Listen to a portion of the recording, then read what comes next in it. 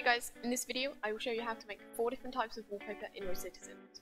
Make them super unique and they look great in any RoCitizens room. So let's get into it.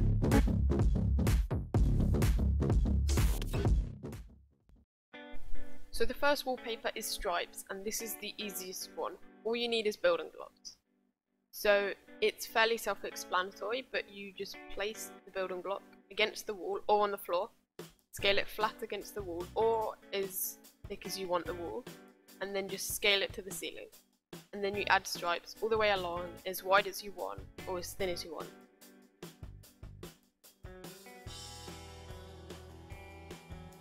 And that is the basic stripe wallpaper. It doesn't just have to be vertical stripes, you could do horizontal stripes, you could do any shapes of building blocks, you could make squares on them. So, and it's super simple. Here are some rooms that I use stripy wallpaper in. You can make the stripes even or in this room I didn't make them even to try and make a retro look so you do whatever, whatever you want. So this one is my favourite wallpaper and it involves using shelves to make patterns on the wallpaper. So first, you pick the shelf that you want to use, I'm going to use hexagons at the moment, and place them, on, place them on the wall normally to make the pattern that you want.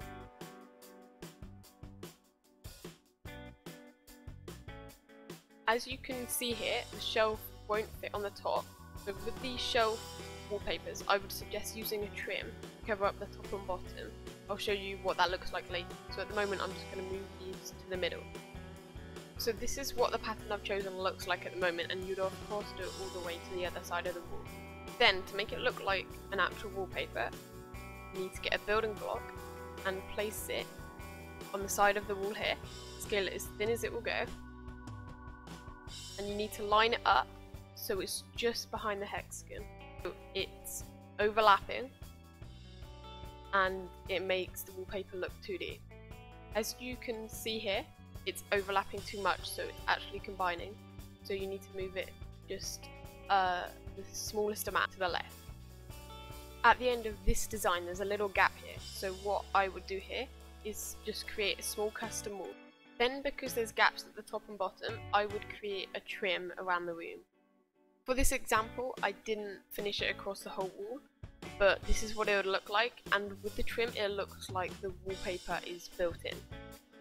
I've done this with hexagon shelves but further apart so they make more hexagon shapes instead of diamonds and I've also done this with the oval shelves scaled as thin as they go to make the circle pattern and you could probably also do this with the square shelves, any shelves really would work. This wallpaper is going to be like a kid's wallpaper with images on it like patterns. So first I'm just going to place the building blocks on the floor away from the wall so there's a gap between the actual wall and the wallpaper and I'm going to make this square pattern. I have now aimed the colours at a wallpaper that I would use in a kid's room. So here you could finish with this wallpaper and you can make it any colour you want. But for me, I've left a gap between the back wall and this wall so I can make decorations and images on the squares. So first I want to put a planet in this box, one of these glowing planets. And you could just place it on here like that, that would be fine. But I don't like the 3D effect, I want it to look 2D wallpaper. So what I'm going to do to do that is I will scale this block to the side. We'll get another building block and place it against the wall. Against this wall, not the back wall, the side wall. And I'll make it so it's overlapping with this block, so it's halfway through this block below. Then I'll scale it like this, get the planet, place it on here, then you can remove that building block and scale this back. And I think it looks better turned off. So this is paper with some decorations around. I also made this similar the same technique. So the final wallpaper paint. The paintings I'm going to use are the neon palm. So I'm just going to place six I have on the wall. But as you can see, it doesn't really look like wallpaper because there's gaps. So I'm going to make a custom here with a building block and then I'm going to make trim at the top of the building block. And with a little bit of added decoration, this is what I finished with. There are some other paint paintings that kind of work to make wallpaper. Unfortunately, I haven't found any paintings which line up completely, so there's always going to be these lines on the wallpaper.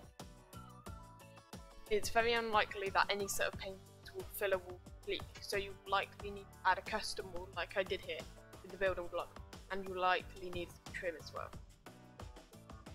The issue with this method is getting the paintings that you need. You can't buy them from the shop, you have to buy them from the museum, and there's only ever one there at a time and then always there.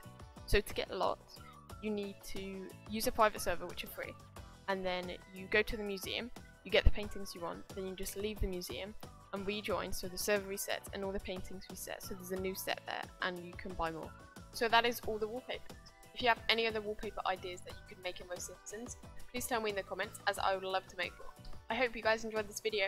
Thanks for watching.